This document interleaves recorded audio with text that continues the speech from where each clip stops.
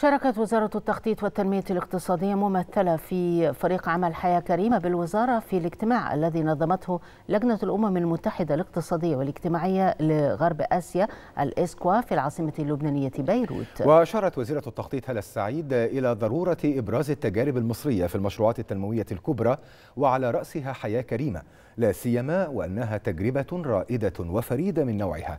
ليس فقط في حجم المخصصات المالية ولكن أيضا في عدد المستفيدين منها والذي يمثل حوالي 58% من سكان مصر.